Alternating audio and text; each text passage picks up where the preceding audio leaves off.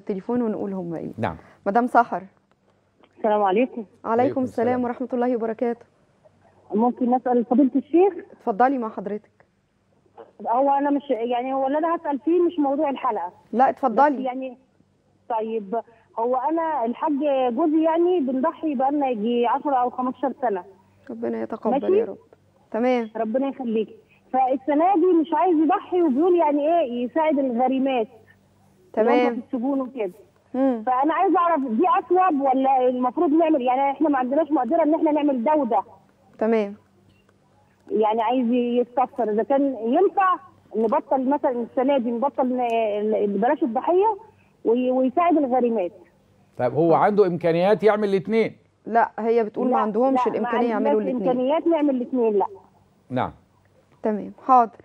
عند حضرتك سؤال تاني يا. مدام سحر لا لا كتر خيرك كل سنة وأنتم طيبين وانت بألف خير يا رب طيب هو ما عندوش مقدرة يعمل الحاجتين عايز يعمل حاجة ال- واحدة. يا يضحي يا يساعد الغريمات شوفي حضرتك هو أحد الصالحين يقول عودني الله عز وجل عادة.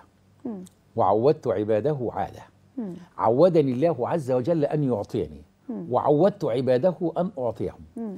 وأخاف أن أقطع عادتي عن الناس فيقطع, فيقطع الله, الله عز عادته. وجل عادته. صحيح خلاص. يبقى اللي متعود؟ إن هو يذبح عليه إن هو إيه؟ يذبح. عشان خاطر الناس اللي عشان خاطر الناس اللي هم آه وبعدين. هذه سنة مؤكدة. خدت بال حضرتك؟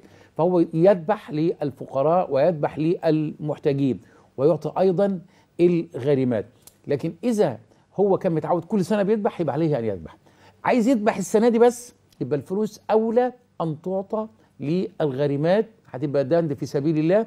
وهياخد عليها ثواب عظيم جدا عند الله ده ده لو هو مش متعود لو هو مش يعمل. متعود على ذلك آه. لكن بقول لك إذا كان قد تعود كل سنة هي بتقول بقى له فعليه. 10 سنين بيعمل خلاص. قد لما ما دام قد تعود على هذا فعليه أن يذبح طاعة لله لأن الرسول عليه الصلاة والسلام قال للسيدة فاطمة الزهراء قال لها إيه؟